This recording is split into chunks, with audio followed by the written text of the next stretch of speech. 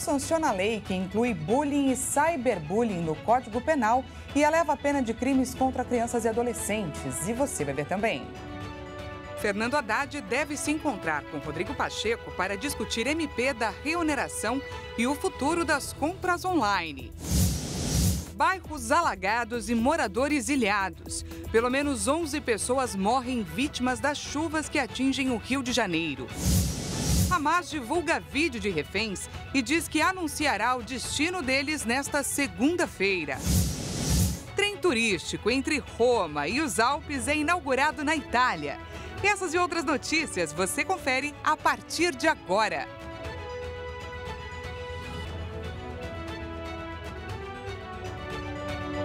Olá, boa tarde para você. Seja muito bem-vindo a essa edição. Nós estamos ao vivo, agora uma hora e quatro minutos pelo horário de Brasília. Vamos juntos conferir o que é notícia no Brasil e no mundo nesta segunda-feira. O governo federal sancionou hoje a lei que inclui os crimes de bullying e cyberbullying no Código Penal. O texto também classifica crimes cometidos contra crianças e adolescentes como hediondos. Vamos conferir juntos o que mudou. As duas condutas passam a integrar o artigo que trata de constrangimento ilegal. Agora, o Código Penal prevê multa para quem cometer bullying e reclusão e multa para quem cometer o mesmo crime por meios virtuais. O texto define bullying como intimidar sistematicamente, individualmente ou em grupo, mediante violência física ou psicológica, uma ou mais pessoas, de modo intencional e repetitivo, sem motivação evidente, por meio de atos de intimidação, de humilhação ou de discriminação ou de ações verbais, morais, sexuais, sociais, psicológicas, físicas, materiais ou virtuais. No caso do cyberbullying, a pena pode chegar entre 2 e 4 anos de reclusão, além de multa. O termo inclui a intimidação sistemática feita em redes sociais, aplicativos, jogos online ou qualquer meio ou ambiente digital. O Código Penal também prevê agravantes se o bullying for cometido em grupo com mais de três autores e se houver uso de armas ou se envolver outros crimes violentos incluídos na legislação.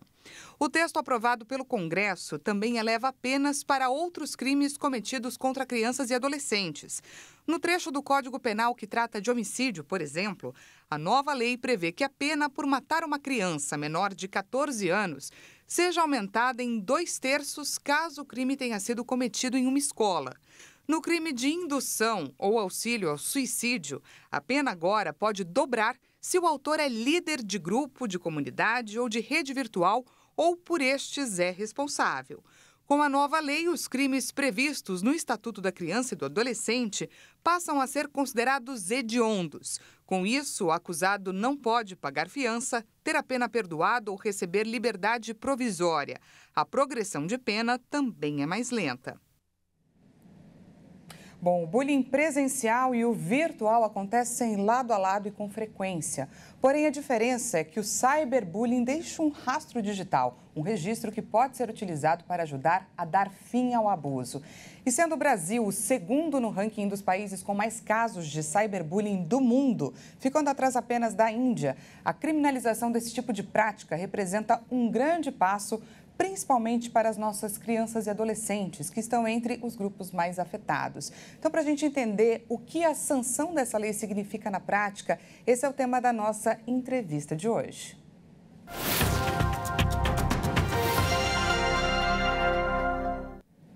Para nos explicar melhor sobre que passos são esses que estamos dando na luta contra o bullying e o cyberbullying, recebo Fábio Chaim, que é advogado especialista em direito criminal. Seja muito bem-vindo aqui no nosso espaço. Boa tarde, prazer participar do programa. Gostaria que o senhor pontuasse para a gente os pontos de mudança que essa sanção marca no enquadramento da prática do bullying e cyberbullying como crime e suas possibilidades de penalizações. Bem, vamos lá. O bullying e o cyberbullying, eles já eram considerados anteriormente como crimes, porém eles eram tipificados de uma maneira mais branda no Código Penal. Então, como injúria, calúnia, difamação, ameaça, lesão corporal, de acordo com a conduta praticada. O que a mudança legal ela produziu foi um endurecimento nas penas e no tratamento jurídico oferecido para o assunto. Porém, é importante ressaltar que o bullying, ele geralmente ele acaba sendo praticado entre menores, E aí, nesse caso, acaba sendo aplicado o, o Estatuto da Criança e do Adolescente com relação ao rito de ato infracional, o que resulta raramente em encarceramento. Com relação ao constrangimento legal propriamente dito, é importante ressaltar que as penas continuam bastante baixas, o que resulta em uma série de benefícios com, a serem aplicados durante o processo e que reduzem o caráter intimidatório dessa, dessa mudança legal. Fábio, eu gostaria de ressaltar um ponto que você trouxe agora há pouco, pois levando em conta a nossa maioridade penal e que a maior parte desses crimes é praticada por jovens, qual é de fato a eficácia, o poder de lei dessa medida? É, o rito do Estatuto da, da, Criança e do Adolescente, ele prevê que o encarceramento do menor, a privação da liberdade, ela é mais restrita do que no caso de adultos. Então, ele, o rito do, do EC, ele possui uma série de fases que geralmente resultam ou no perdão por parte do promotor de justiça, ou a aplicação de medidas educa educativas que não resultam no encarceramento. E considerando a prática da conduta entre menores, é, é importante considerar se os menores possuem a compreensão do caráter ilícito do que está sendo feito. Ou seja, a solução do bullying entre menores que não possuem a imputação penal, que não possuem a capacidade para compreender o caráter ilícito que está sendo praticado, passa também por um processo educacional nas escolas e nas famílias, na direção de que a nossa cultura de violência não é a melhor solução para resolver conflitos entre menores. Pois é, Fábio, na sua opinião, além da questão da punição pontuada por essa medida na esfera penal, é preciso então que esse problema seja tratado também na esfera educacional. Foi o que você falou agora para a gente. Gostaria que você falasse sobre essa diferença, né? A necessidade de termos a família e a instituição escola agindo para evitar que o quadro chegue de fato a essa esfera penal. Sim, é, o, a cultura brasileira como um todo, ela possui um forte elemento de uso da violência para a solução de conflitos. E isso precisa ser alterado no processo educacional, na família, nas escolas, realmente no sentido de mostrar que existem formas alternativas de convívio pacífico entre as crianças e que não existe a necessidade de que uma exerça alguma forma de violência contra a outra no convívio diário, seja verbal, seja física, seja sexual. Tá certo, conversamos com Fábio Chaim, advogado especialista em direito criminal. Fábio, muito obrigada pela sua participação. Até mais. Boa tarde. Boa tarde. Bom, e o ministro da Fazenda, Fernando Haddad, e o presidente do Senado Federal, Rodrigo Pacheco, se reúnem hoje para discutir compras online e arrecadação. Pois é, o governo negocia com o Congresso a proposta de remuneração gradual da folha de pagamento para 17 setores da economia. Após voltar das férias, Haddad tem encontro com Rodrigo Pacheco. Na pauta estão a medida provisória que estabelece a reoneração gradual da folha de pagamento para 17 setores da economia e a taxação de compras internacionais online. Diante da resistência à AMP, o governo e o Congresso avaliam que a retomada do imposto de importação no e-commerce pode ser alternativa para manter a desoneração e o equilíbrio das contas. A medida, editada no fim do ano passado, foi mal recebida por representantes dos setores afetados e parlamentares, que pedem a devolução do texto. As negociações sobre a proposta de remuneração vêm avançando desde a semana passada. A medida só começa a valer no dia 1 de abril e até essa data, a desoneração dos 17 setores da economia continua em vigor, o que dá tempo hábil para que o governo negocie com o Congresso. O recesso legislativo termina em fevereiro e até lá, nenhuma decisão formal deverá ser tomada, mas os parlamentares têm reagido e pressionado por uma negociação. Na prática, a desoneração representa uma redução nos encargos trabalhistas pagos pelas empresas de alguns setores. No padrão normal, sem a desoneração, essas companhias pagariam 20% na contribuição previdenciária, como é conhecida a folha de salários. Com a regra diferenciada, passaram a pagar alíquotas de 1 a 4,5% sobre a receita bruta. E veja a seguir: Hamas divulga vídeo de reféns e diz que anunciará o destino deles nesta segunda-feira. E ainda, trem turístico entre Roma e os Alpes é inaugurado na Itália. A gente volta já já. Não perca!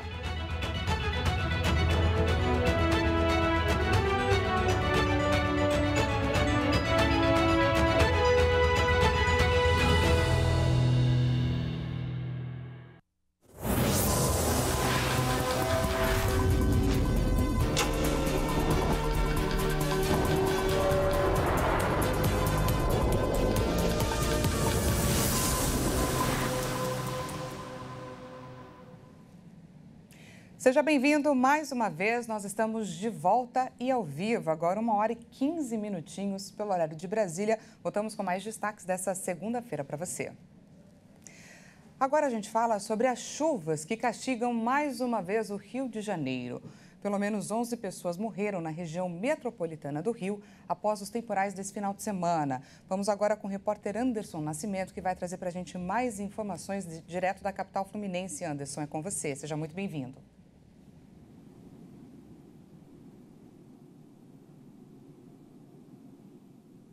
Obrigado, Dani. Lamentavelmente, participo hoje do jornal das 13 horas com essa triste fatalidade, né? O Rio de Janeiro foi bombardeado com chuvas intensas durante esse fim de semana. Olha, pelo menos, Dani, não são mais 11, agora são 12. 12 pessoas morreram durante as fortes chuvas que atingiram a zona norte do Rio e a região metropolitana entre sábado e domingo. Além das chuvas, a, for, a, a, forte chuva né, acabou provocando prejuízos materiais para os moradores, a interdição de vias expressas importantes, assim como a Avenida Brasil, a rodovia Washington Luiz também teve seu fechamento e prejudicado por conta das chuvas. Essas chuvas também provocaram fechamento das estações do metrô e do trem. O hospital que se localiza ali em Acari, na zona norte do Rio, Ronaldo Gazola, ele também teve, que, teve o seu subsolo inundado e ficou sem energia. Além disso, alguns concursos e provas marcados para domingo foram cancelados. Os bombeiros atenderam mais de 200 chamados de resgate em todo o território fluminense. O prefeito do Rio, Eduardo Paz, decretou a situação de emergência na capital e o Centro de Operações informou que a cidade entrou em estágio operacional número 4, o segundo mais alto na escala de riscos. O governador em exercício, Tiago Pampolha, afirmou que pediu ajuda ao Ministério das Cidades para obras que precisam ser feitas na localidade. Pampolha também informou que o governo do estado irá dar um cartão com o valor de 3 mil reais às famílias afetadas e aos desabrigados. E é nessa situação, Dani, que a gente começa a semana, né? As pessoas tendo que voltar para casa para limpar o caos que foi causado pelas chuvas e tentando ver o que sobrou. É com você de volta, Dani. Anderson, eu gostaria que você falasse agora para a gente sobre a situação na Zona Norte, né? Porque, segundo a estação meteorológica de Anchieta, o acumulado de chuva passou dos 259 milímetros em apenas 24 horas nesse domingo. Esse é o maior volume já registrado em toda a série histórica do Sistema Alerta Rio desde 1997. É muita água, não é, Anderson?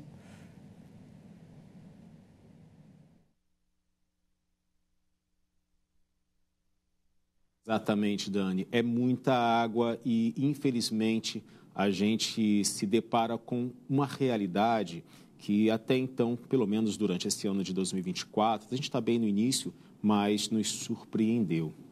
Olha, as vítimas né, continuam sendo buscadas pelas forças armadas, pelo corpo de bombeiro, pelos resgates. Olha, 12 pessoas já foram, infelizmente, encontradas sem vida. Uma continua desaparecida.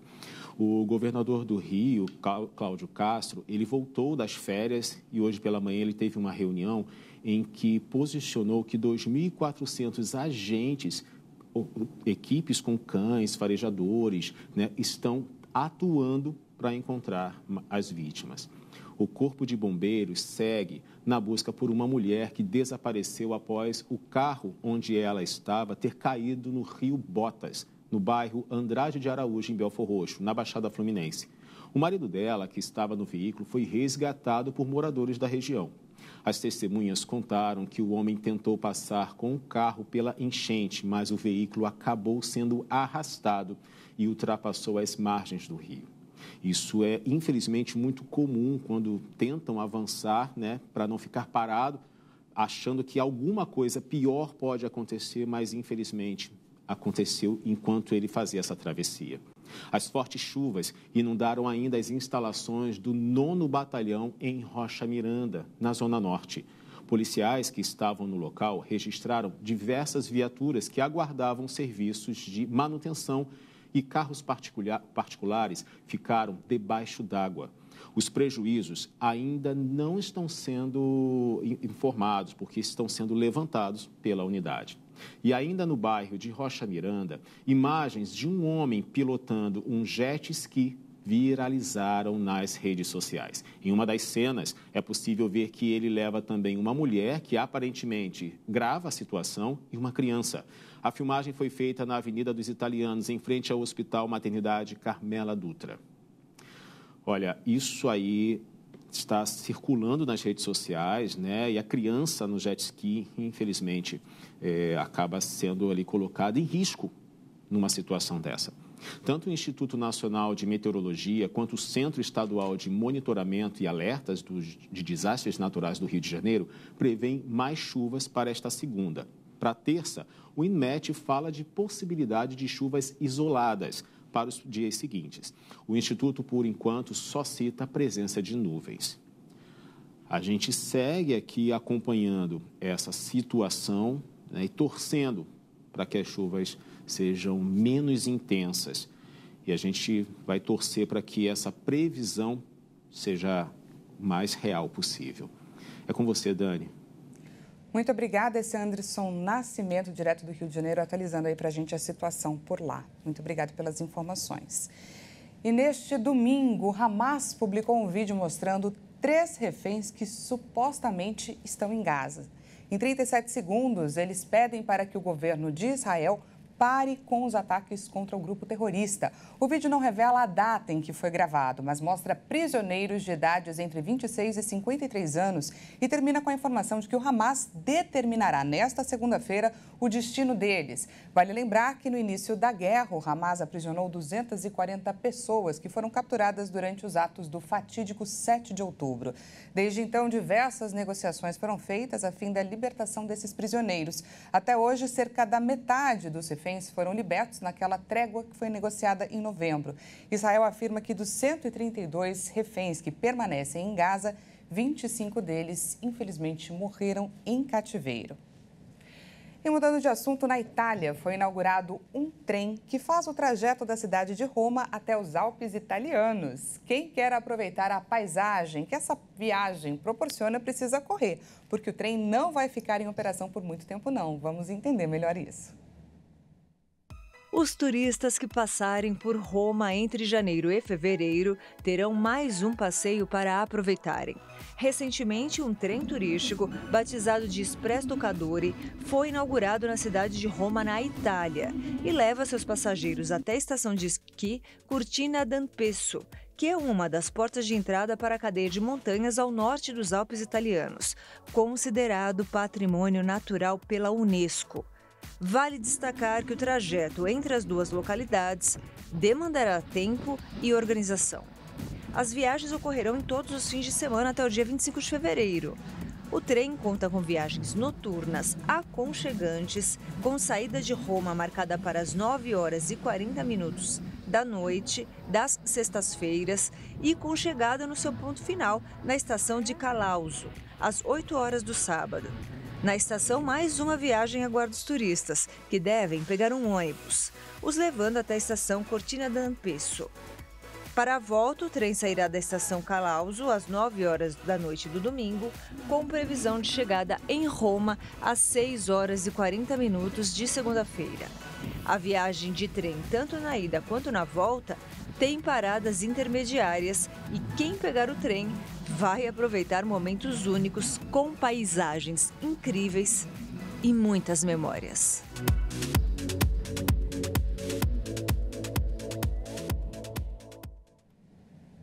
Essa edição fica por aqui. Muito obrigada pela sua companhia. Uma ótima segunda-feira, um ótimo restinho de segunda-feira para você. Até amanhã.